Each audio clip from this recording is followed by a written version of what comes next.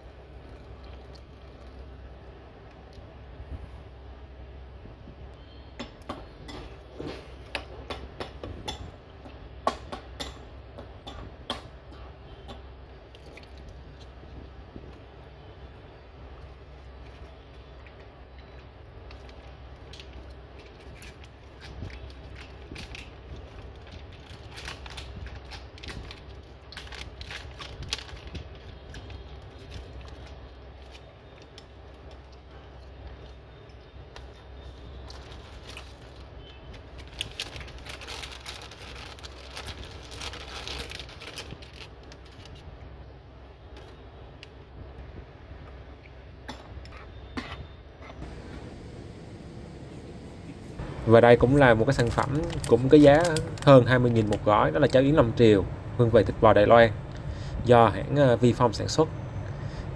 Hay còn gọi là công ty thực, kỹ nghề thực phẩm Việt Nam. Thì đây là những cái thông tin được in ở mặt sau trên bao bì.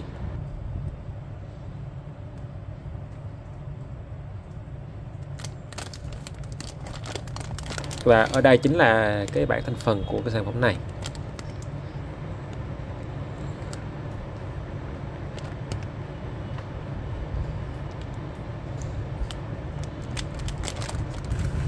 Và ở đây mình sẽ cho cái phôi cháo vào trước.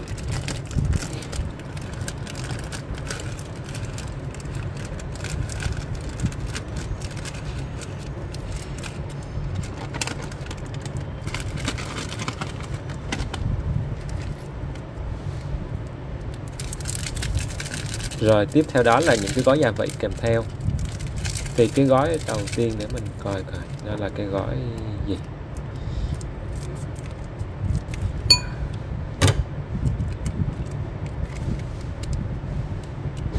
Thì đầu tiên là gói súp bột.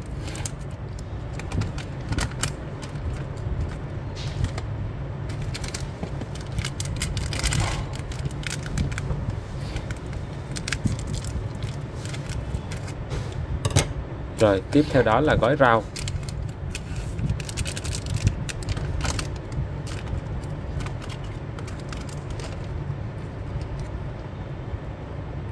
Rồi, tiếp theo đó nữa là gói dầu tôi sẽ cho dầu vào đây. Nhưng mà cái này nó hơi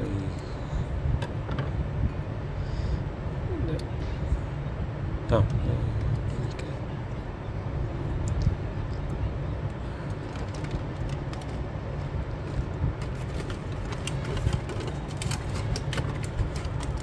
Rồi tiếp theo là cái gói này thì có vẻ là cái gói tổ yến thì phải.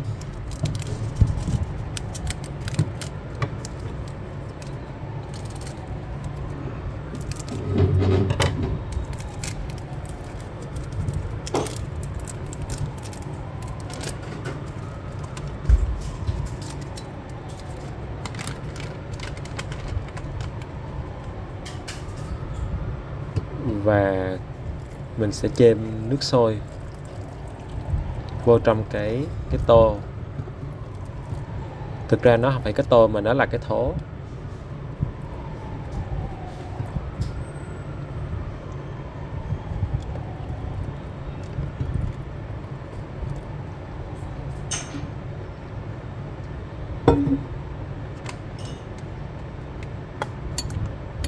Rồi, bây giờ mình sẽ trộn đều cho những cái nguyên liệu và cái gói cháo này nó hòa trộn lại với nhau.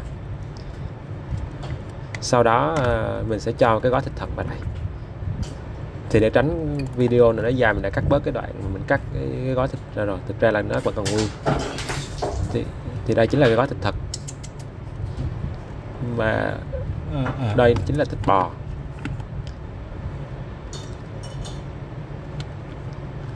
Đó, bây giờ mình sẽ làm cái cách để mà mình làm sạch cái cái bao bì. Cho đó nên nó phải làm sạch cái bao bì đã à, ờ, sau đó mình sẽ trộn đều lên cùng với cái gói thịt bò và cùng với sốt thịt bò. Mà cái hương vị của nó ăn cũng ăn có vẻ được.